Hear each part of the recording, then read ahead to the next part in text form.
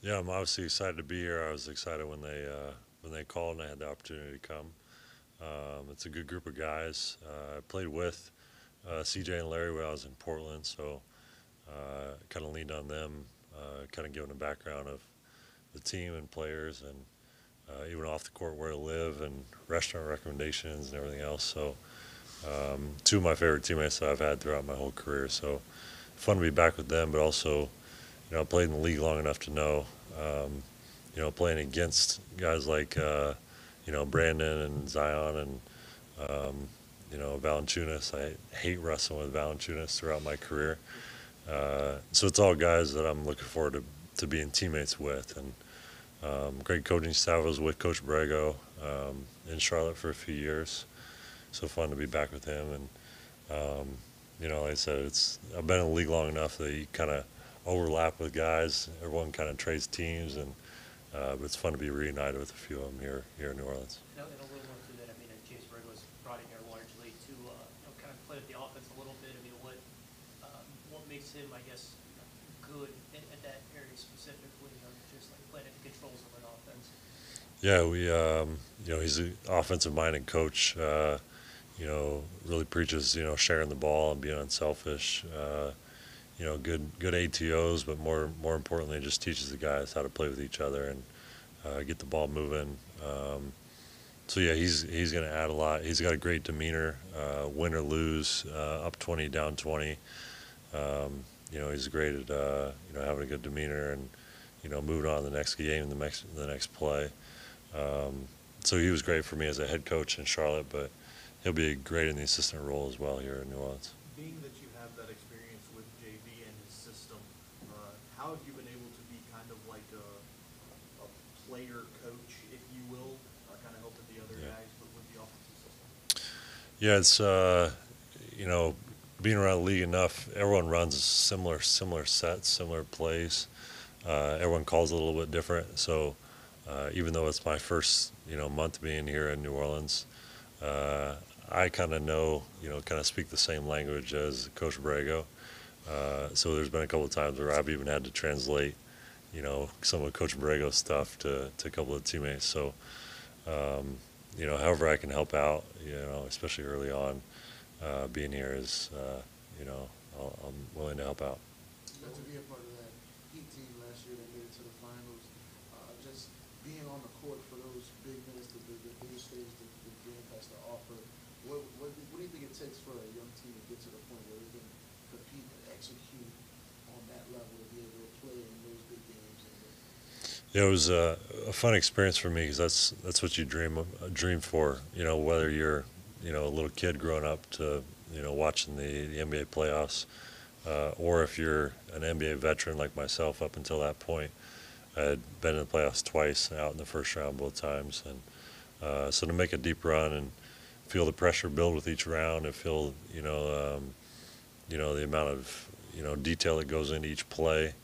Um, was really fun for me to, to experience, and uh, hopefully I can bring, you know kind of bring some of that experience here. But um, you know, it takes all you know 15 guys. It takes uh, you know a good coaching staff, guys that are you know all team first, all on board for um, you know helping out the team win. Um, you know, a lot. It takes a lot of grit, a lot of uh, like I said, attention to detail.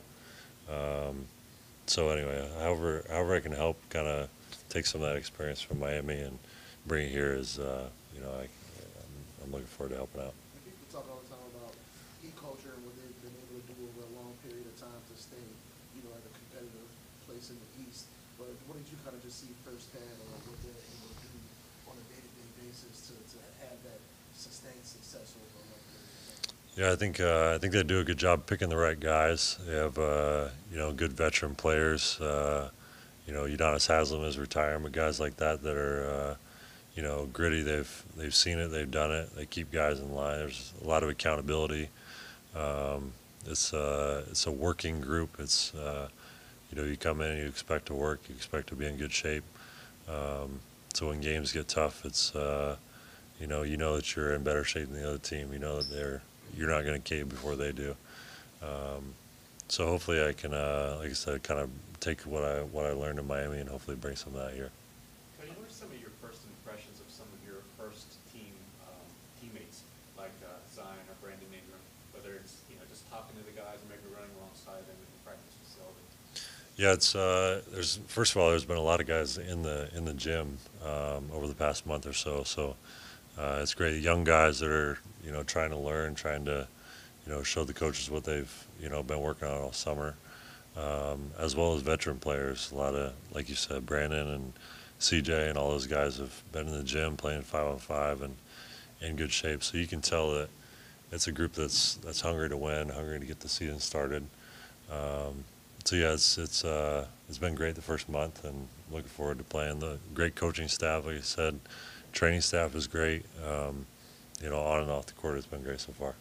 not to keep harping on, on Miami, but they're a very scheme versatile team when it comes to defense. A lot of zone, sometimes they switch, sometimes they, they drop and that kind of stuff.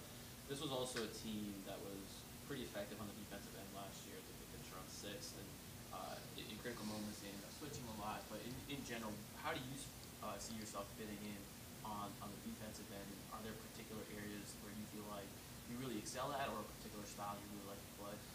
Yeah, it's uh, that's a good question because I think uh, Miami probably plays more zone than anyone else in the league, um, but you know teams aren't used to playing against that, and I think that um, I think it starts with having good defenders, uh, individual defenders, uh, but also guys that are smart enough to be able to switch back and forth. Um, and like you said, New Orleans uh, last year is, um, you know, was top ten defense, and I think you have to have the ability to switch defenses, uh, give teams different looks. Um, so hopefully I can fit into that. Hopefully I can, uh, you know, help out however I can.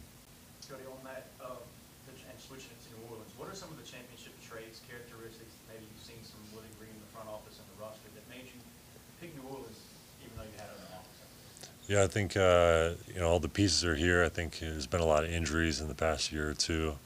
Um, the team hasn't quite been healthy, but um, I think the pieces are here. A couple, uh, you know, even changes to the to the coaching staff, the front office. You know, like like we said, bringing in Coach Borrego. Um, you know, it's uh, made me excited when they when they called, um, and even uh, you know we haven't talked about off the court at all, but uh, I'm looking forward to being here. It's uh, I got married like a month ago, so it's just my wife and I. So uh, we're looking forward to being in New Orleans. We've been, like I said, here like a month, and we've been total tourists. We've been trying all the new restaurants, and uh, we took a walk out at Audubon Park, City Park. Um, we're just trying to trying to be tourists and trying to enjoy the city. So uh, we're looking forward to, especially, you know, personally, our first year of marriage to be in New Orleans. Uh, something we'll remember uh, the rest of our lives. So uh, it's really fun to be here. But you're looking at that, your leadership style, having gone from Charlotte when they were, you know, a lottery team. You played at Indiana, which has a championship culture, been to the finals. Yeah. How are you gonna try and bring that experience to this locker room, being the veteran you are? Yeah, I think um, I that's what I pride myself on. Is just being. I hope that the team plays well when I'm on the court. Uh, I want the team to win. Uh, I don't care about any individual stats or accolades or anything. That's how I've been all the way back to my college days. Um, uh, but obviously, uh, you know, through my I've had some some good and bad experiences. I've had some some rough years as well, and I think you can learn equally from both. Um, but hopefully, I can kind of bring that uh, you know winning experience uh, to New Orleans and help out however I can. As a guy who's competed against him before, how would you describe what it's like just going against Zion and just the, the physicality he brings when he's on the court? Yeah, he's uh, he's such a unique player. He just finds a way to score around the rim. Uh, his, obviously has athletic ability, his second job, um, to to find a way to get to the rim and uh, score through contact. Uh, he's just a tough matchup for anyone. He's too quick for, for bigs, too too big for some of the guards. Um, so yeah, when he's on the court and healthy, it's uh, you know a matchup nightmare. So like I said, I'm looking forward to playing with him instead of against him. smaller, more small ball.